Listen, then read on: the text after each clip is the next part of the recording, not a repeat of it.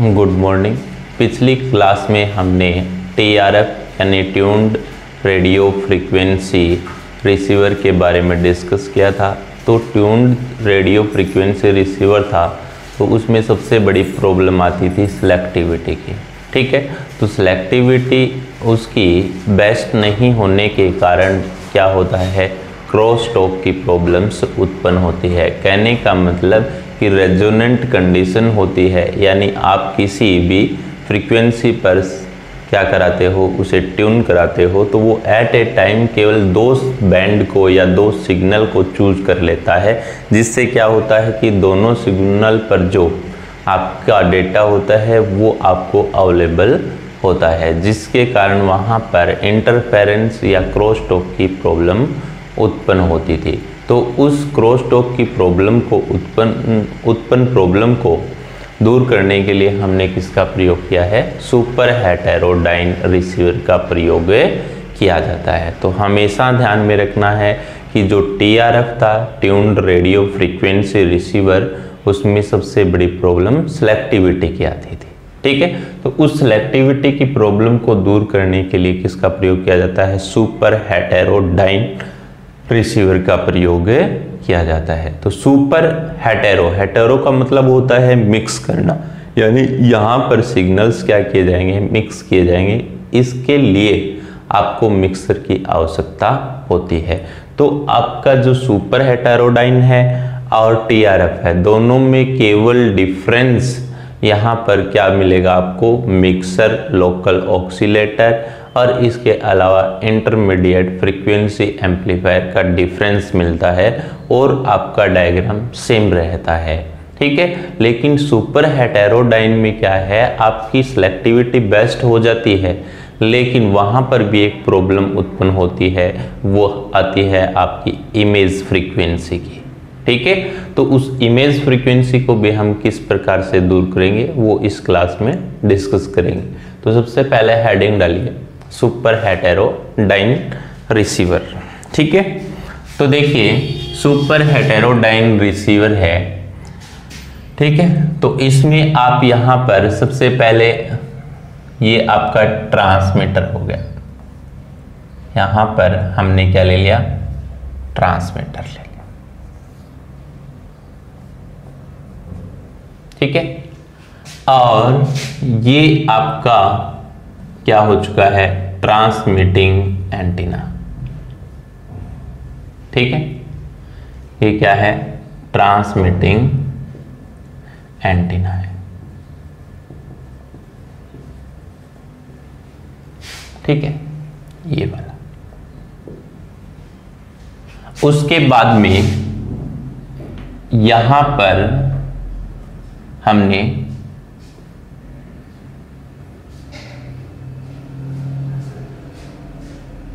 Are F ले लिया है। R F amplifier. ठीक है? और ये आपका क्या है? Receiver antenna.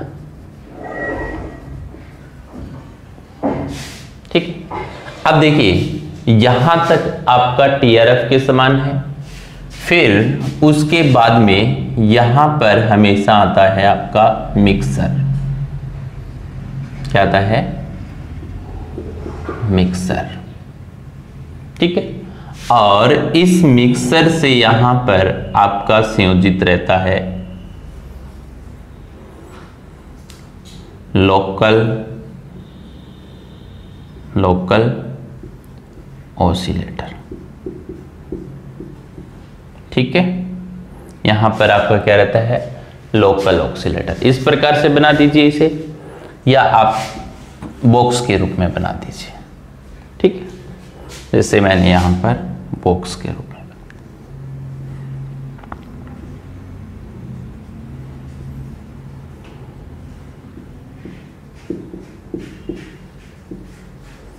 ठीक है? उसके बाद में यहाँ पर आपका आता है इंटरमीडिएट फ्रीक्वेंसी एम्पलीफायर ठीक है? उसके बाद में यहाँ पर आपका आएगा इंटरमीडिएट इंटरमीडिएट फ्रीक्वेंसी एम्पलीफायर ठीक है? उसके पश्चात में आपका क्या आता है? यहाँ पर डीमोड्यूलेटर आता है डी मॉड्यूलेटर ठीक है? डी मॉड्यूलेटर के बाद में आपका यहाँ पर आएगा audio amplifier audio amplifier audio amplifier के बाद में यहाँ पर आपका लगा होता है क्या? Power amplifier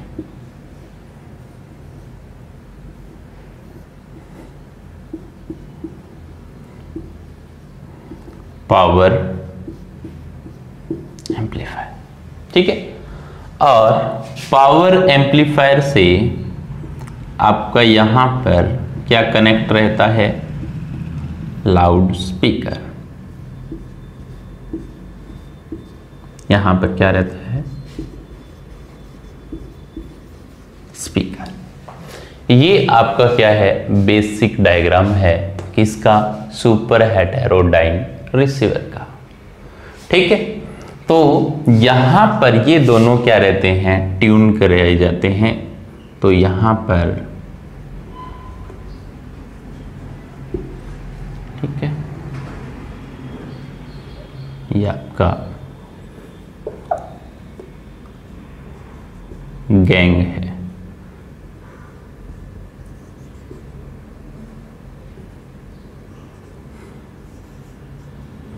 गैंग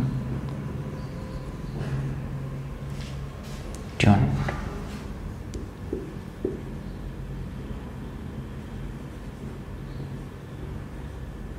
ठीक है? अब देखिए, यहाँ पर जो मीडियम रहता है, वो क्या रहता है? फ्री स्पेस तो कोई भी सिग्नल होता है आपके पास, उस सिग्नल को सबसे पहले क्या किया जाता है? लो फ्रीक्वेंसी को हाई फ्रीक्वेंसी में परिवर्तित किया जाता है। किसके माध्यम से? मॉड्यूलेटर के माध्यम से। ठीक है? उसके बाद में उसे क्या किया जाता है? एम्पलीफाई करके ट्रांसमिटिंग एंटीना के माध्यम से सेंड किया जाता है। ट्रांसमिटिंग में एंटीना है, क्या करता है? हमेशा ध्यान में रखना है कि जो आपके इलेक्ट्रिकल सिग्नल है, उन्हें विद्युत चुंबकीय यानी इलेक्ट्रोमैग्नेटिक में परिवर्तित कर देता है। और फ्री स्पेस के माध्यम से कहाँ पर प्राप्त होता है आपको? रिसीवर एंटीना पर।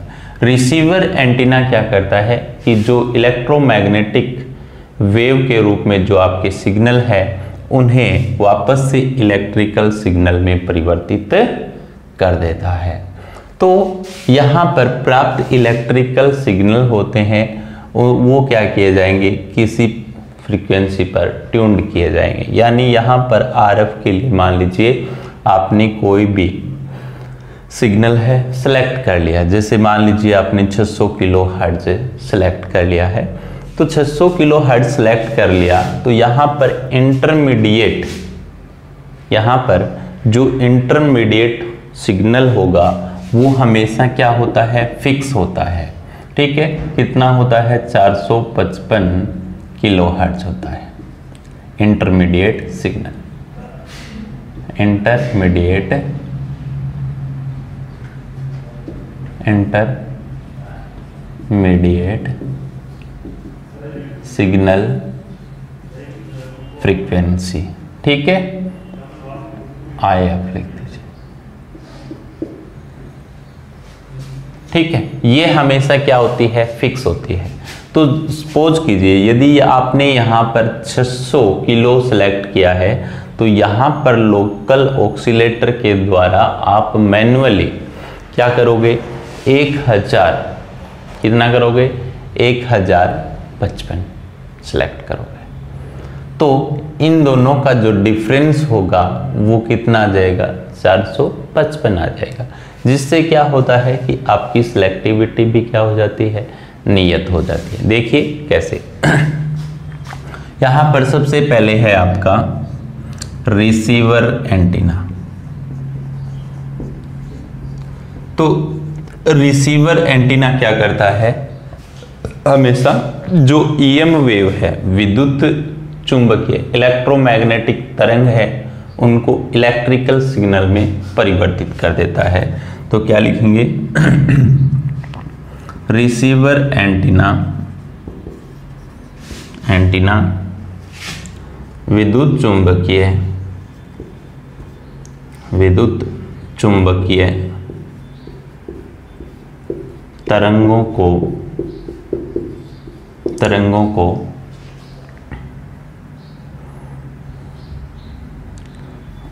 इलेक्ट्रिकल सिग्नल में परिवर्तित करता है। ये कार्य किसका होता है? रिसीवर एंटीना का। इसके विपरीत किसका होता है? ट्रांसमिटिंग एंटीना का होता है। उसके बाद में आता है आपका R RF amplifier RF amplifier तो आरएफ एम्पलीफायर का कार्य क्या रहता है कि आपके जो सिग्नल है उसको एम्पलीफाई करना, उसके साथ साथ क्या करना होता है कि ट्यूनिंग का भी कार्य करना होता है। तो इसका कार्य क्या होता है? RF amplifier RF amplifier signal को सिग्नल को परवर्धित करता है तथा तथा ट्यून सर्किट ट्यून सर्किट का कार्य भी करता है। किसका कार्य करता है? ट्यून सर्किट का भी कार्य करता है। तो आपको पता है कि आरएफ एम्पलीफायर है, वो ट्यून सर्किट का कार्य कर रहा है। तो यहाँ पर ट्यून सर्किट का कार्य करेगा तो इसके लिए ट्यून सर्किट में क्या होना चाहिए? हमेशा आपको पता है कि एक तो क्या होता है आपका इंडक्टर होता है और दूसरा क्या होता है इसमें कैपेसिटर होता है। ठीक है? एल और सी ये वैल्यू क्या होती है? वेरिएबल तो यहाँ की जो फ्रीक्वेंसी होगी वन अपोन में क्या होगी? Two pi root L C तो यहाँ पर जैसे ही आप क्या करोगे, यहाँ से नोब को परिवर्तित करते हो तो हमेशा सी की वैल्यू क्या होती है? परिवर्तित होती है। ठीक है? ये पॉइंट्स आपको ध्यान में रखना है। अब देखते हैं इसका एग्ज़ाम्पल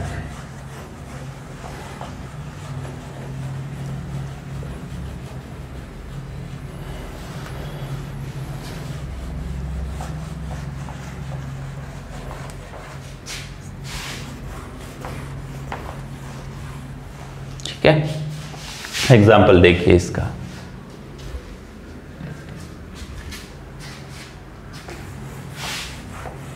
ठीक है अब देखिए, जैसे मान लीजिए यहाँ पर फ्रीक्वेंसी सिलेक्ट की आपने 600 किलो हर्ट्ज कितनी सिलेक्ट की? 600 किलो हर्ट्ज तो यहाँ पर जो ये मिक्सर होता है, इस मिक्सर का जो आउटपुट होगा, वो क्या होगा? लोकल फ्रीक्वेंसी मान लेते हैं एफ़ एल है। तो ये क्या होगी?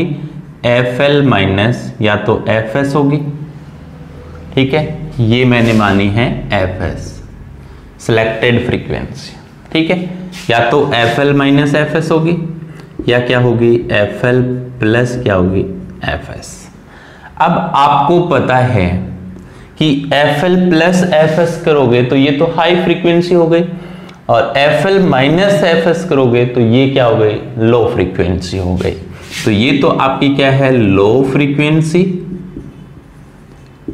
और ये क्या है आपकी? हाई फ्रीक्वेंसी हमें चेन किसका करना है? लो फ्रीक्वेंसी का करना है। अब यहाँ पर देखिए कि इन दोनों का रिज़ल्ट हमेशा क्या आना चाहिए? 455 किलो हर्ट्ज। क्योंकि ये इंटरमीडिएट फ्रीक्वेंसी क्या है? नियत है। ठीक है? तो आपने एफ़ एस का मान कितना लिया? 600 किलो हर्ट्ज। ठीक है?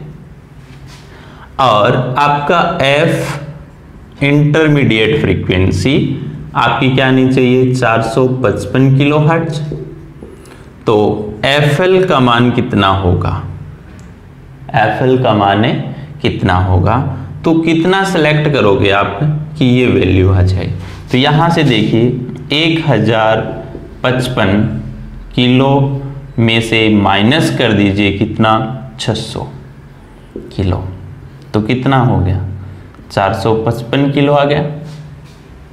कितना आ गया? 455 तो लोकल की फ्रीक्वेंसी कितनी आएगी? एक हज़ार पचपन किलो आ ठीक है? तो यहाँ पर आपको क्या करना होगा कि एफएल की फ्रीक्वेंसी इस प्रकार से सेट करनी होगी कि इंटरमीडिएट फ्रीक्वेंसी कितना आ जाए? 455 ठीक है? तो हमेशा ध्यान में रखना है।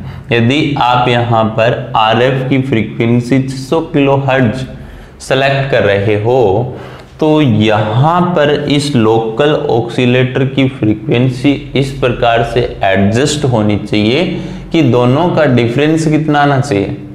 455 किलो हर्ज तो यहाँ पर आप फॉर्मूला लिख सकते हो एफ़ आई इंटरमीडिएट फ्रीक्वेंसी बराबर क्या लिखोगे? F local frequency minus selected frequency ये आपके पास क्या आ चुका है? एक फॉर्मूला ठीक है? अब ये नेगेटिव भी हो सकती है पॉजिटिव भी हो सकती है, लेकिन वहाँ पर साइन मेंशन नहीं किया जाएगा। ठीक है? तो आपको ये ध्यान में रखना है कि इसका मान हमेशा क्या रहता है? फिक्स रहता है। तो अब हम बात करते हैं यदि इसकी क्वालिटी की, क्यू? ठीक है?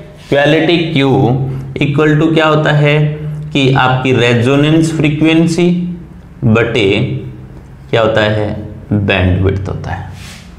रेजोनेंस फ्रीक्वेंसी बटे क्या होता है? बैंड विड्थ तो आपको पता है कि यहाँ पर रेजोनेंस फ्रीक्वेंसी कितना आ चुकी है? 455 किलो। तो 455 किलो। अब आपको पता है कि एम होता है सिग्नल उसकी जो बैंडविड्थ होती है, वो कितना होती है? 10 किलो हर्ट्ज होती है। कितना होती है? 10 किलो हर्ट्ज तो 455 किलो में 10 किलो का भाग दोगे तो कितना गया? 45.5 तो ये मान हमेशा क्या रहता है? फिक्स रहता है। क्यों? क्योंकि intermediate frequency 455 kilo hertz fix रहेगी। और इसके अलावा आपका जो बैंडविड्थ है एम का, वो भी क्या रहता है? फिक्स रहता है। तो यहाँ पर क्या है? आपकी सिलेक्टिविटी सिलेक्टिविटी क्या हो जाती है? बेस्ट हो जाती है। ठीक है? तो जो टीआरएफ में प्रॉब्लम आती थी, किसकी प्रॉब्लम आती थी? हमेशा सिलेक्टिविटी की प्रॉब्लम आती थी। ठीक है? तो वो सिलेक्टिविटी की प्रॉब्लम यहाँ पर किसमें दूर की जाती है? सुपर हेटेरोडाइन में। लेकिन यहाँ पर सिलेक्टिविटी की प्रॉब्लम तो दूर कर दी जाती है किसके द्वारा? आपके सुपर हेटेरोडाइन रिसीवर के द्वारा। लेकिन इसमें भी एक प्रॉब्लम उत्पन्न हो जाती है। वो प्रॉब्लम होती है इमेज फ्रीक्वेंसी की। किसकी होती है? इमेज फ्रीक्वेंसी की। तो देखते हैं कि वो प्रॉब्लम क्या होती है। ठीक है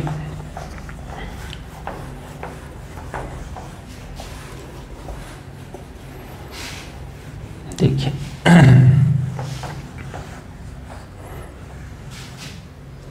इधर देखिए सभी। यहाँ पर, जैसे आपके पास सिग्नल है, ठीक है? जैसे ये कोई सिग्नल है, इसकी है आपके पास 600 किलो, ठीक है?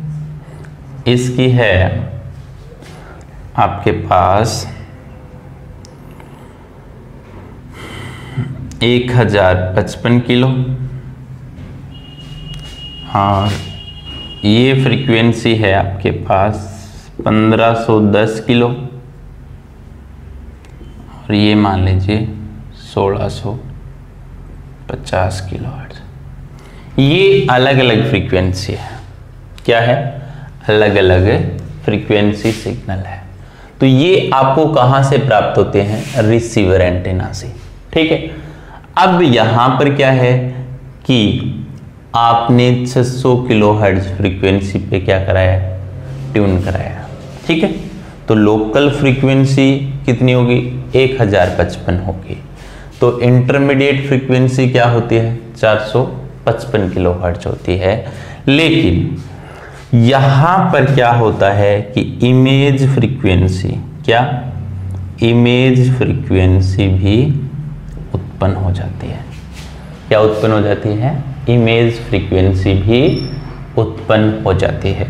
तो इमेज फ्रीक्वेंसी बराबर क्या होता है? F S selected frequency plus दो गुना हो जाता है किसका? इंटरमीडिएट फ्रीक्वेंसी का। तो यहाँ पर एफ़ एस का मान कितना दिया आपको? 600 किलो प्लस दो गुणा चार किलो। तो ये कितना हो गया? 600 किलो प्लस। ये कितना है? 400 सौ दूनी 800 900 910 910 हो गया। तो ये कितना हो गया टोटल? आपका 1510 किलो हर्ट्ज का तो जब आप 600 किलो हर्ट्ज फ्रीक्वेंसी सेलेक्ट करते हो तो उसके साथ साथ आपका क्या होता है? इमेज फ्रीक्वेंसी भी क्या हो जाता है? सेलेक्ट हो जाता है। तो 1510 क्या है? 600 किलो हर्ट्ज का इमेज फ्रीक्वेंसी है। ठीक है? तो हमेशा ध्यान में रखना है इस बात को कि यहाँ पर जब आपने 600 किलो हर्ट्ज सेलेक्ट किया तो इसके साथ साथ इमेज फ्रीक्वेंसी भी क्या हो जाती है? सेलेक्ट हो जाती है। ठीक है? तो इस इमेज फ्रीक्वेंसी प्रॉब्लम को ठीक है? इमेज फ्रीक्वेंसी प्रॉब्लम को रिजेक्ट करने के लिए आपका जो रिजेक्शन रेशियो होता है, वो क्या होना चाहिए? न्यूनतम होना चाहिए। उसके लिए हम यहाँ पर किसका प्रयोग करते हैं? गैंग ट्यून का प्रयोग करते हैं। तो इसके लिए आपका जो गेन होता है, वो क्या होना चाहिए? न्यूनतम होना चाहिए। गेन क्या होना चाहिए? न्यूनतम होना चाहिए। गेन जितना कम होगा तो उसमें इमेज फ्रीक्वेंसी प्रॉब्लम उत्पन्न नहीं होगी। इसलिए उस गेन को हम क्या कहते हैं? इमेज फ्रीक्वेंसी रिजेक्शन रेशियो कहते हैं। ठीक है? तो ये प्रॉब्लम उत्पन्न हुई यहाँ पर। तो इस प्रॉब्लम को दूर करना है। तो इस प्रॉब्लम को दूर करने के लिए हम यहाँ पर क्या करेंगे कि गेन गेन और यहाँ पर फ्रीक्वेंसी के मध्य ग्राफ बनाते हैं। तो ये आपका क्या है? ग्राफ तो ये तो क्या है? आपका सिलेक्टेड फ्रीक्वेंसी पर ग्राफ है। ठीक है? तो यहाँ का गेन मैं मान लेता हूँ जी एस ठीक है? अब क्या हुआ कि जो ये फ्रीक्वेंसी तो मान लीजिए सिलेक्टेड फ्रीक्वेंसी क्या है? 600 किलो। ठीक है? लेकिन इमेज फ्रीक्वेंसी कितनी है? 1510 तो मैं मान लेता हूँ कि ये 1510 है आपकी। किलो हर्ट्ज फ्रीक्वेंसी तो इसका गेन आ जाएगा जी एस आई तो हमेशा ध्यान में रखना है, ये इमेज फ्रीक्वेंसी का और ये सिलेक्टेड फ्रीक्वेंसी का। तो यहाँ पर जो एल्फा आता है, वो क्या आता है? गेन ठीक है? ध्यान में रखना है कि गेन बराबर इमेज का जी एस आई बटे गेन किसका? आपका सिलेक्टेड का। इसका मान क्या होना चाहिए? कम से कम होना चाहिए। उससे क्या है? आपकी इमेज फ्रीक्वेंसी सेलेक्ट नहीं होगी। तो इस इमेज फ्रीक्वेंसी प्रॉब्लम को रिजेक्ट करने के लिए हम यहाँ पर ट्यून्ड गैंग ट्यून्ड का प्रयोग करते हैं। तो इसको हम क्या कहते हैं? Image frequency image frequency rejection ratio कहते हैं। क्या कहते हैं? इमेज फ्रीक्वेंसी रिजेक्शन रेशियो अब देखिए अब यहाँ पर आपके पास इमेज फ्रीक्वेंसी सेलेक्ट नहीं होगी तो इंटरमीडिएट एम्पलीफायर क्या करता है? इंटरमीडिएट फ्रीक्वेंसी एम्पलीफायर क्या करता है? इस 455 किलो हर्ज को क्या कर देगा? एम्पलीफाई कर देगा। क्या कर देगा? एम्पलीफाई कर दे देगा। उसके बाद में आपके पास क्या आता है? आगे डी मॉड्यूलेटर आता है। तो डी मॉड्यूलेटर नोट करना चाहते हैं तो लिख सकते हैं। इंटरमीडिएट फ्रीक्वेंसी एम्पलीफायर ठीक है? तो आप लिख सकते हो कि इंटरमीडिएट फ्रीक्वेंसी सिग्नल को एम्पलीफाई फाई करता है। यहाँ पर केवल एम्पलीफाई क्या होता है? आयाम या वोल्टेज या क्या लिख सकते हो? यह है आयाम या वोल्टेज को एम्पलीफाई फाई करता है। ठीक है? उसके बाद में आपका क्या आता है? डी मॉड्यूलेटर आता है। तो डी मॉड्यूलेटर हमेशा क्या करता है? आप सभी को पता है? डी मॉड्यूलेटर डी मॉड्यूलेटर क्या करेगा? हाई फ्रीक्वेंसी सिग्नल को किसमें चेंज करेगा? लो फ्रीक्वेंसी सिग्नल में। तो ये क्या करता है? हाई फ्रीक्वेंसी सिग्नल को किसमें चेंज कर देता है? Low frequency low frequency signal में। ठीक है? क्या आप कह सकते हो कि जो इंटरमीडिएट फ्रीक्वेंसी है, ठीक है, वो क्या है लो और हाई का क्या है, मध्यवर्ती है? तो उसे हाई की कैटेगरी में रखोगे तो आप या ये भी कह सकते हो कि रेडियो फ्रीक्वेंसी को किसमें करता है? आपका ऑडियो में। या आप कह सकते हो कि कैरियर सिग्नल को मैसेज सिग्नल से अलग करता है। ठीक है? उसके बाद में क्या आता है? ऑडियो फ्रीक्वेंसी एम्पलीफायर होता है। ये क्या करता है कि जो आपको लो फ्रीक्वेंसी सिग्नल प्राप्त हुआ है यहाँ पर, लो फ्रीक्वेंसी सिग्नल। ठीक है? उसको क्या करेगा? एम्पलीफाई करेगा। उसको क्या करेगा? एम्पलीफाई करेगा। जबकि यहाँ पर जो पावर एम्पलीफायर है पावर एम्पलीफायर क्या करता है? वोल्टेज और करंट दोनों को ही क्या करता है? एम्पलीफाई इससे पहले की जितनी भी ये स्टेज है, ये केवल आयाम या वोल्टेज को एम्पलीफाई करती है, जबकि यहाँ पर जो पावर एम्पलीफायर है, ये हमेशा क्या करेगा? वोल्टेज और करंट दोनों को क्या करता है? एम्पलीफाई करता है।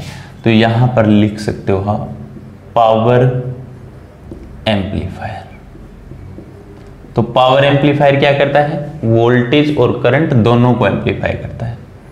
यह है वोल्टेज करंट दोनों को एम्पलीफाई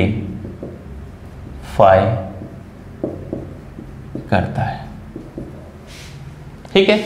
और हमेशा करंट को एम्पलीफाई कराने का टारगेट ये रहता है कि करंट के द्वारा ही आपका जो लाउड स्पीकर है, उसकी कोयल प्रचालित होती है। तो क्या लिखेंगे? करंट के द्वारा ही स्पीकर की कॉयल प्रचालित होती है।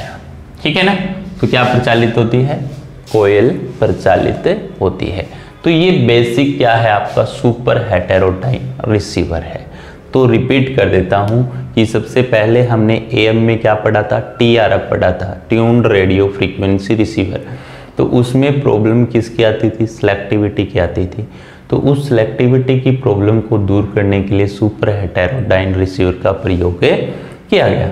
सुपर हेटेरोडाइन में सेलेक्टिविटी की प्रॉब्लम्स को हटा दिया जाता है, लेकिन इसमें इमेज फ्रीक्वेंसी की क्या आ जाती है? प्रॉब्लम्स उत्पन्न हो जाती है। तो उस इमेज फ्रीक्वेंसी प्रॉब्लम को दूर करने के लिए यहाँ पर इमेज फ्रीक्वेंसी रिजेक्शन रेशियो का प्रयोग किया जाता है। इसके अलावा आपका पार्ट्स हैं, वो क्या रहता है? सेम रहता है। तो ये था आपका A M receiver next class में हम एफ़ एम रिसीवर के बारे में डिस्कस करेंगे। Thank you